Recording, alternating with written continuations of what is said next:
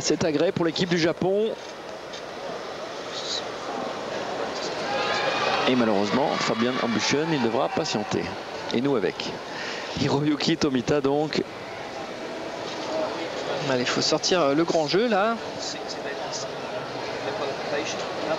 Il en est capable. Une entrée en salto en dessous, demi-tour. Suivi d'un salto en dessous simple. Soleil avec un maximum d'amplitude. Temps de ventre, double salto arrière. Elle fait partie des gymnastes qui ont le plus gros contenu à cet appareil. Ici, soleil double groupé.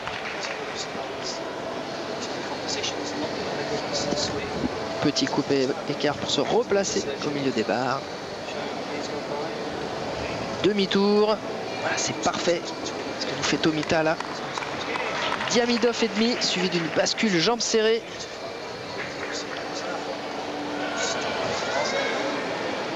Allez, la sortie de Carpé, léger petit pas.